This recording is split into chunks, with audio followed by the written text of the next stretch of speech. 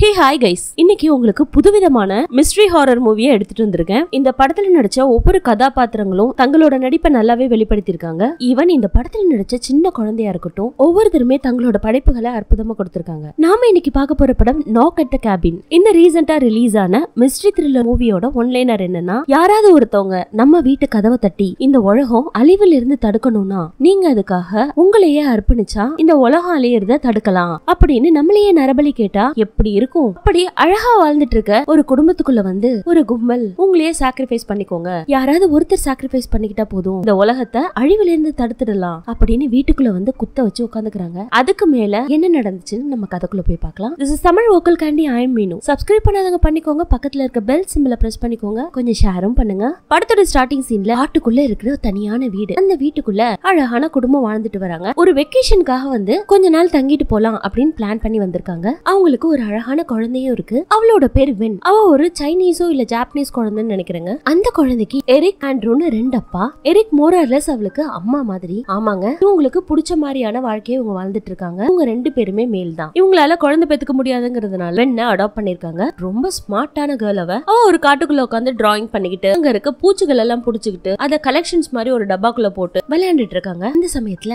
Leonard அப்படிங்கிற ஒரு ஆள் வந்து கம்ப்ளீட்டா இவங்க ஒரு ஸ்ட்ரேஞ்சர் தான். அந்த குழந்தைகிட்ட பேச்சு கொடுக்க அந்த குழந்தையும் அழகா பேசிட்டு இருக்கா? நீங்க யாரு? உங்க பேர் என்ன? என்னதுக்காக வந்திருக்கீங்க? எல்லா விஷயமும் கேட்டுட்டு அதுக்கப்புறம் அப்பப்ப ஏதோ ஸ்ட்ரேஞ்சா திரும்பி திரும்பி பாத்துட்டு இருக்காரு. லியோ அக்கா சும்மா திரும்பி திரும்பி பாக்குறீங்க என்னாச்சு அப்படின்னு கேட்க ஒண்ணும் இல்ல பாப்பா. நாங்க இங்க வந்திருக்கிறது உங்க ஃபேமிலி கிட்ட ஒரு ஹெல்ப் கேட்கறதுக்காக வந்திருக்கோம். நீ என்ன பண்ற? வீட்டுக்கு போய் அப்பா அம்மா கிட்ட இது மாதிரி நாங்க ஹெல்ப் கேட்க வந்திருக்கோம். அந்த ஹெல்ப் நீங்க கண்டிப்பா செய்யணும். அப்படி இல்லனா பயங்கரமான ஸ்ட்ரேஞ்ச் உங்க ஃபேமிலிக்கு வரும் அப்படிங்கிற மாதிரி சொல்லு. அப்படிங்கிறான். இவ தான் ஸ்மார்ட் ஆச்சு. என்ன இவன் எப்படி பேசுறானே அப்படின்ட்டு இவ என்னாச்சு உங்களுக்கு? என்ன இப்படி பேசுறீங்க அப்படின்னு கேட்டுட்டு இருக்கா அந்த சமயத்துல திரும்ப திரும்பி பாக்குறான் அவன். யாரோ மூணு பேர் கையில பயங்கரமான ஆயுதங்கள் எல்லாம் எடுத்துக்கிட்டு இவங்கள நோக்கி வராங்க. அதை பார்த்தோன்னே இந்த குழந்தைக்கு பயமாயிடுதுங்க. இன்னும் ஒண்ணுமே புரியல அவளுக்கு. குடு குடுன்னு வீட்டை நோக்கி ஓடுறா. பாரு பாப்பா சொன்னதை கண்டிப்பா உங்க அப்பா அம்மா கிட்ட சொல்லிடு. அப்படி இல்லனா நாங்க ஃபோர்ஸா வீட்டுக்குள்ள நுழைஞ்சு சொல்ற மாதிரி இருக்கும். அப்படின்னு மிரட்டுற தோணியில பேசணும்னு அவ வீட்டு கதவு கிட்ட போயிருப்பா. அதை கேட்டுட்டு ஒண்ணுமே ரிப்ளை பண்ணாம வீட்டுக்குள்ள போனாவ கதவை சாத்தி லாக் பண்ணிடுறா. குடுகுடுன்னு ஓடி போயிட்டு எரிக் ஆண்ட்ரூ ரெண்டு பேரும் உட்காந்து பேசிட்டு இருப்பாங்க பேக் சைட்ல ரெண்டு பேரும் உள்ள முதல்ல வாங்க. ஒரு நாலு ஸ்ட்ரேஞ்சர்ஸ் நம்மள பார்க்க வந்துட்டு இருக்காங்க அவங்க நாலு பேரும் நம்ம கிட்ட ஏதோ ஒரு ஹெல்ப் கேட்கறதுக்காக வராங்க. அவங்க கையில பயங்கரமான ஆயுதங்கள்லாம் வச்சிட்டு இருக்காங்க அவங்கள எனக்கு சுத்தமா பிடிக்கல. நம்ம சேஃப்டியா இருக்கிறது நல்லது. எல்லா கதவையும் சாத்தி லாக் பண்ணுங்கன்னு அவங்களுக்கு ஒண்ணுமே புரியல. அதே மாதிரி அவ சொல்லி முடிக்கல. கதவு தட்டப்படுது. என்ன சொன்னாலும் அதே விஷயத்த வெளியில இருக்கவங்க சொல்றாங்க. அவங்க இருக்கிற ஜன்னல் கதவு எல்லாத்தையும் மூடி மூடி வைக்கிறாங்க. எதையுமே கரெக்டா மூட முடியலங்க. எல்லாமே உட் ஹவுஸ்ங்கிறதுனால கண்ணாடியாலையும் சாதாரண உட்டாலையும் தானே கட்டி வச்சிருப்பாங்க. வெளியில இருக்கவங்க ஒன்னு ஒன்னத்தையும் பிரேக் பண்ணிட்டு ஃபோர்ஸ் என்ட்ரியா உள்ள நுழையறதுக்கு ட்ரை பண்றாங்க. அந்த சமயத்துல கிச்சன் வழியா ஒருத்தி உள்ள நுழைஞ்சிடுறா. அந்த அம்மாவோட பேர் சப்ரினா. உள்ள நுழைஞ்சவ இவங்கள தாக்கலங்க. கையில பயங்கரமான ஆயுதம் வச்சிருக்காதான். ஆனா இவங்க அடிச்சா தற்காப்பு மட்டும் தான் பண்ணிக்கிறா. இவங்கள தாக்கல. சரின்னு ஒவ்வொருத்தரும் ஃபோர்ஸ் என்ட்ரியா உள்ள நுழைய குழந்தை பயந்து போயிடுது. அதே சமயத்துல எரிக்கோல தலையில பயங்கரமான அடிபட்டுருது. அந்த ஸ்ட்ரேஞ்சர் சப்ரினா எரிக்கு ஃபர்ஸ்ட் எய்டும் பண்றா. வந்தவங்க வீட்டுக்குள்ள சும்மா இருப்பாங்களா? அடுத்த சீன்ல இவங்க ரெண்டு பேரையும் கட்டி போட்டுறாங்க குழந்தைய தவறங்க. குழந்தை பக்கத்துலயே உட்காந்துட்டு இருக்கு. தரையில உட்காந்துட்டு இருக்கா. ஏன் தரையில உட்காந்துட்டு இருக்க அப்படின்னு ஆண்ட்ரியூ கேட்க அவ குழந்தை இல்ல தரையிலே உட்காந்துக்கட்டும் அப்படின்னு வந்த நாலு பேரும் சொல்றாங்க. அதுக்கப்புறம் ஒவ்வொருத்தரும் தங்களை பத்தி உங்களோட பேர் என்ன? எந்த ஊர்ல இருந்து வந்திருக்காங்க? அப்படிங்கிற மாதிரி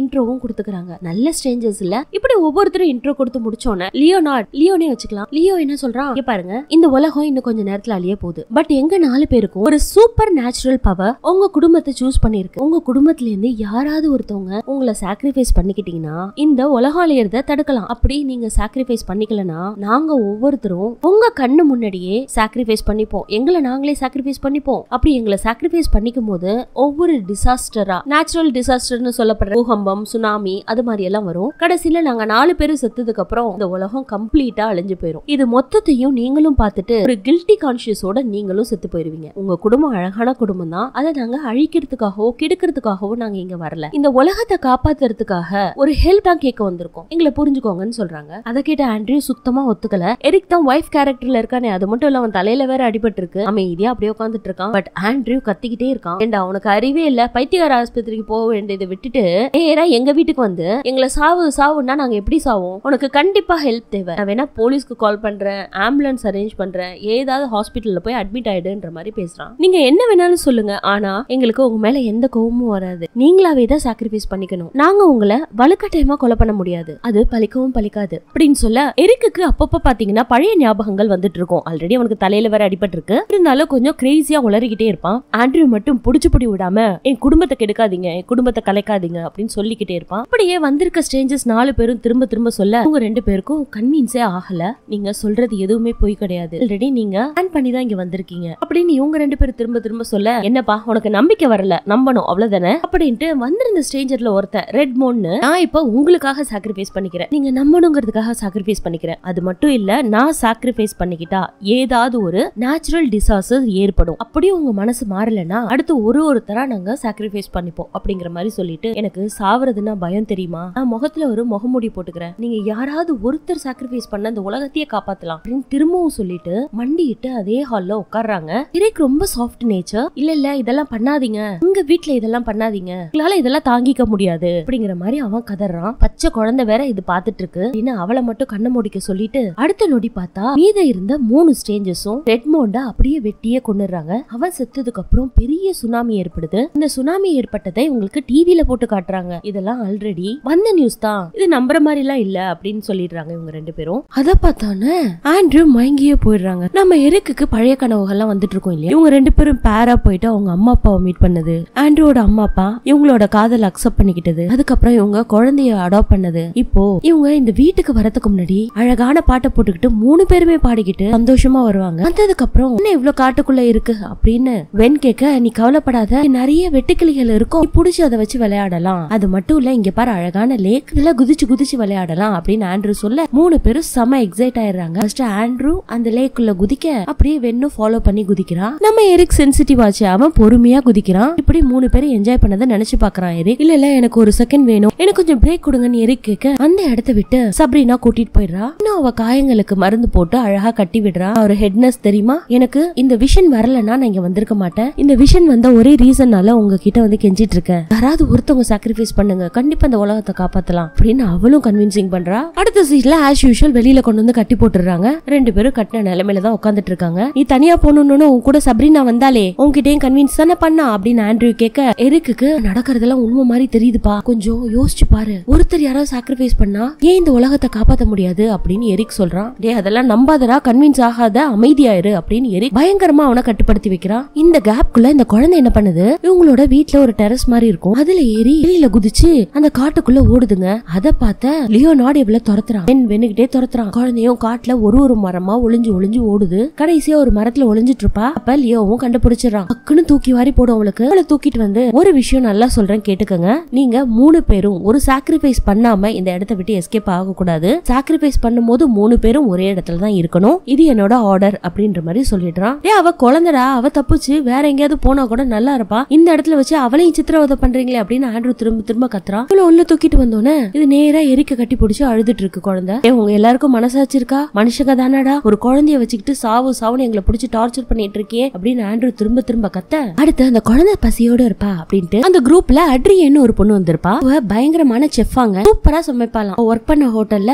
பெஸ்ட் ஷெஃப்னு பேர் வாங்கினவளாம் இதெல்லாம் இந்த குழந்தைகிட்ட சொல்லிக்கிட்டு அந்த குழந்தைக்கு உணவு பரிமாறுறா. அந்த குழந்தையும் அழகா சாப்பிட்டுட்டு அவகிட்ட ஒரு கிஃப்ட் மாதிரி ஒரு துண்டை மடிச்சு கையில கொடுக்குது. அருமா என்னோட ரெஸ்டாரண்ட்டுக்கு நீ என்னைக்காவது ஒரு நாள் வந்தீனா இதை விட ஸ்பெஷலான ஃபுட் உனக்கும் சமைச்சு கொடுக்குறேன் அப்படின்னு சொல்றா. அந்த குழந்தையும் அந்த கிஃப்ட கொடுத்துட்டு ஃபைல் பண்ணிட்டு அந்த இடத்த விட்டு எந்திரிச்சு போக நீ எவ்வளவு அழகான பொண்ணு தெரியுமா? இவ்வளவு அறிவான பொண்ணு. எவ்வளவு கைண்டா இருக்க? ரொம்ப தேங்க்ஸ் அப்படின்னு சொல்றான் அந்த குழந்தை பாத்தீங்கன்னா ஒரு கத்திய சாப்பாடு டேபிள்ல இருந்து எடுத்துக்கிட்டு போய் அவங்க அப்பாவான எரிக் கையில கொடுத்துருது. குழந்தை செம ஸ்மார்ட் இல்ல திரும்ப இவங்க ஒத்துக்காததுனால இந்த தடவை ஆண்ட்ரியனோட டேர்ன் ஆங்க. வரும்போதே ஒவ்வொருத்தரும் யாரு ஃபர்ஸ்ட் யாரு செகண்ட் பேசி வச்சுட்டு தான் வந்திருக்காங்க. இந்த தடவை உங்களுக்காக நான் உயிரை கொடுக்க போறேன். எத்தனையோ தடவை சொல்லி பாக்குறோம் பண்ணி பாக்குறோம் கேட்கல ஒவ்வொருத்தரும் உயிரை விடுறத நீங்க பாருங்க. அப்புறம் இந்த உலகத்துல ஒவ்வொரு அழிவு வரதையும் நீங்க கண் கூட பாப்பீங்க அப்பயாவது நம்புங்க அப்படின்னு சொல்லிட்டு அந்த பொண்ணு அந்த இடத்துல முட்டி போட்டு உட்கார கடைசி வார்த்தையா எனக்கு ஒரு பொண்ணு இருக்கா? அவளை விட்டுட்டு வந்திருக்கேன் நானு. இதுக்காக இந்த உலகத்தை காப்பாத்தணும்ன்ற ஒரே ரீசனுக்காக நான் சாக்ரிஃபைஸ் பண்றேன் உங்களால முடியாதா? அப்படின்னு சொல்லி முடிச்சோன்னே அவளும் மாஸ்க் போட்டுக்கிறாங்க. அங்க இருக்கவங்களும் அவளையும் கொண்டுடுறாங்க இதுல எரிக்கும் ஆண்ட்ரியும் மாத்தி மாத்தி நோ நோன்னு கத்துறானுங்க. அவனுங்க கத்துன வாய்ஸ் குறையவே இல்ல. அதே மாதிரி ஆண்ட்ரியன் சொன்ன மாதிரியே திரும்பவும் டிவி நியூஸ்ல ஏதோ புது வகையான கொல்ல நோய் இப்ப ரீசெண்டா பரவி நம்மளெல்லாம் கொன்னுச்சிங்களே. அந்த மாதிரியான கொல்ல நோய் உலகமே பரவுது. மெயினா பாத்தீங்கன்னா அச்ச குழந்தைகளை பதினஞ்சு குழந்தைகளை தான் அது தாக்குது. பெரிய குழந்தைங்க உயிரை விட்டுட்டே இருக்காங்க. அதை பார்த்த எல்லாருக்கும் அலையே சுத்துது. திரும்ப குழந்தைங்களாம் இறக்குறாங்களே. புதுசா ஒரு வைரஸ் ஃபார்ம் ஆயிருக்கு. என்ன பண்றது ஏது பண்றதுன்னு சொன்னோன்னே இந்த தடவையும் ஆண்ட்ரியூ சேம் டயலாக் சேம் கூச்சல். இதையே பண்ணிட்டு இருக்கான். அவங்க ரெண்டு பேரும் நம்புற மாதிரியே இல்லங்க. ஏதோ ஒரு வகையில எரிக் நம்பினாலும் ஆண்ட்ரூ இதை சுத்தமா நம்ப மறுக்கிறான். ஆனா ஆண்ட்ரூக்கு ஒரே ஒரு ஆசைதான் இந்த குடும்பம் இப்படியே அழகா இருக்கணும். எக்காரணத்தை கொண்டு பிரிய கூடாதுன்னு நினைக்கிறான். பட் எரிக்கு ஒரு 90% பர்சன்ட் நம்புற மாதிரி ஆயிட்டான். ஏன்னா ரெண்டு பேர் இறந்ததுக்கு அப்புறம் அவங்க சொன்ன மாதிரியான நேச்சுரல் டிசாஸ்டர் வந்ததுனால அவன் நம்புறதுக்கு தயாராவும் ஆயிட்டான். அதை பார்த்த ஆண்ட்ரூ என்ன பாடுறா நம்பாத நம்பாதன்னு இவனை வேற கன்வின்ஸ் பண்ணிட்டு இருக்கான். ஆனா இதுல ஒரு விஷயம் என்னன்னா இவங்க அந்த வீட்டுல ஏதோ கெஸ்ட் வந்த மாதிரி அவங்க உடைச்சிட்டு வீட்டை உடைச்சிட்டு உள்ள வந்த போதும் வீட்டெல்லாம் கிளீன் பண்ணுவாங்க. பாத்துப்பாங்க பாட்டுல சமையல் நடக்கும். நார்மலா ஒரு வீட்டுல என்னென்ன விஷயங்கள் நடக்குமோ அத்தனையும் நடக்கும். பட் அவங்க இவங்க ரெண்டு பேரையும் கன்வின்ஸ் மட்டும் தான் பண்ணிட்டு இருப்பாங்க. இவங்க ரெண்டு பேரும் கொஞ்சம் முரண்டு பிடிக்கிறதுனால ஹர்ட் பண்றதை தவிர வேற வழி இல்லைன்றதுனால ஹர்ட் பண்ணுவாங்க. இதுல எரிக் என்ன சொல்றான்? எனக்கு ஏதோ வெளிச்சம் தெரியற மாதிரி இருக்கு. ஏதோ எனக்கு இமேஜஸ் தெரியுது. ஏதோ நான் பாக்குறேன் அப்படின்னு அவனும் சொல்றான். திரும்ப திரும்ப மத்த எல்லாரும் பேசுறதையும் வச்சு எரிக் மாறுறத வச்சு ஆண்ட்ரூக்கு வெறி வருதுங்க. எல்லாரையும் புடிச்சு கொலைச்சு விடுறான் கடிச்சு விடுறான். அந்த அளவுக்கு அவனுக்கு கோவம். இவங்களோட கான்வர்சேஷன் போயிட்டு இருக்கும் போதே இவங்க ரெண்டு பேரும் என்ன பண்ணுவாங்க? தான் கத்தியால கயிறு அவுத்துட்டு இருப்பான் ஆண்ட்ரூவோ ஆனாவே கைய லூஸ் பண்ணி அந்த கட்டுகளை அவுத்துட்டு இருப்பான் பக்கம் பேசிட்டு தான் இருப்பானுங்க பட் இந்த வேலையும் செஞ்சுட்டு இருப்பானுங்க திரும்ப திரும்ப ஆண்ட்ரூ சொல்றது என்னன்னா இங்க நடக்கிற நேச்சுரல் டிசாஸ்டர் எல்லாமே ப்ரீ ப்ரோக்ராம் பண்ணதுதான். நீங்க எங்களை ஏமாத்துறீங்க. இதை நாங்க நம்ப தயாரா இல்ல. அப்படின்னு சொல்லிக்கிட்டே இவங்க ரெண்டு பேரும் ஒரே சமயத்துல கட்டை ரிமூவ் பண்ணிட்டு லியோனோட தாக்குறாங்க. அந்த சமயத்துல லியோவுக்கு பயங்கரமா அடிபட்டுருது. இருந்தாலும் ஆண்ட்ரூ என்ன பண்றான்? வீட்டை விட்டு தப்பிச்சு வெளியில காரை நோக்கி ஓடுறான். காரோட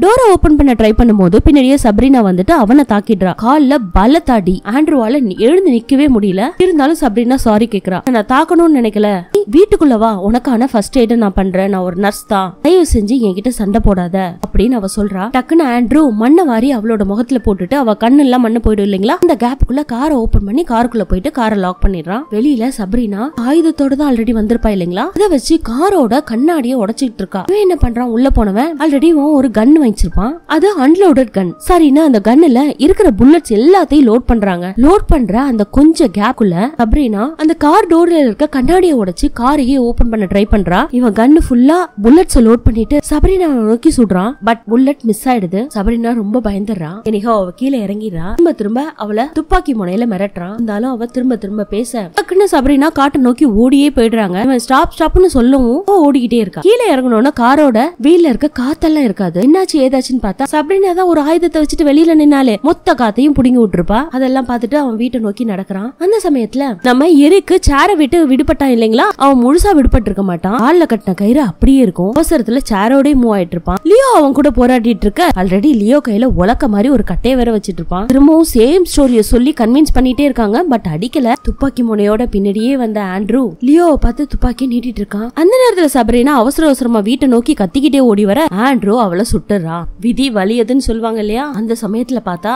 வானத்துல பறந்துட்டு இருக்க ஏரோப்ளைன் ஹெலிகாப்டர் மொத்தமும் சிக்னல் இல்லாம பொட்டு பொட்டுன்னு வெடிச்சு செதறுதுங்க. நினைச்ச இடத்துல சுத்திக்கிட்டே விழுகுது. அந்த சமயத்துல ஆண்ட்ரூக்கு ஒரு பிளாஷ்பேக் இவங்க ரெண்டு பேரும் ஒரு பார்ல மீட் பண்ணி பேசியிருப்பாங்க. ஏன்னா ஆல்ரெடி இவங்க லவ் பண்றாங்க இல்லையா? அந்த சமயத்துல பார் டெண்டரா வேலை பார்த்த நம்ம லியோ உன்னோட சின்ன வயசுல இவங்க ரெண்டு பேர்கிட்டயும் சண்டை இழுத்து ஆண்ட்ரூ மண்டையிலே ரெண்டு பீர் பாட்டில் எடுத்து உடைச்சிடுறான். அந்த அளவுக்கு லியோ கோவம். அதுக்கப்புறம் ஆண்ட்ரூ ஹாஸ்பிட்டல் அட்மிட் ஆகி எரி கூடவே இருந்து பாத்துக்கிட்டு உடம்பு தேர்ந்ததுக்கு அப்புறம் உடம்ப நல்ல ஜிம் எல்லாம் போயிட்டு ட்ரெயின் பண்ணிட்டு லியோ அடிக்கிறதுக்காக பயங்கரமான பிராக்டிஸ் எல்லாம் பண்ணிருப்பான் அந்த சமயத்துல ஒரு கன்னும் வாங்கியிருப்பாங்க. அதுக்கப்புறம் லியோவை எங்கேயும் பாக்கலன்றதுனால அப்படியே அந்த வெஞ்சன்ஸை கை விட்டுறான் பட் இவனும் அந்த பார்லயே ஒர்க் பண்ணதுனால அவனோட ஐடி கார்டை மட்டும் இத்தனை நாளா பாதுகாத்து வச்சிருப்பாங்க. அந்த ஐடி கார்டை தூக்கி போட்டு நீ ஆல்ரெடி நான் ஒர்க் பண்ண பார்ல தானே ஒர்க் பண்ண நாங்க ரெண்டு பேரும் கல்யாணம் பண்ணிக்கிட்டது உனக்கு பிடிக்கல அந்த ஒரே ரீசன்னால தானே என்ன பழி வாங்குறதுக்காக இங்க வந்து என் குடும்பத்தை கெடுக்கிற? அப்படின்னு சொல்ல இல்ல அப்ப நான் சின்ன வயசுல இருந்தேன். நல்லது எது கெட்டது எதுன்னு தெரியல. ஏதோ ஒரு போதையில அன்னைக்கு அப்படி பண்ணிட்டேன். இப்ப நான் ஸ்பிரிச்சுவலா இருக்கிறதுனால நான் சொல்றத நம்பு. கண்டிப்பா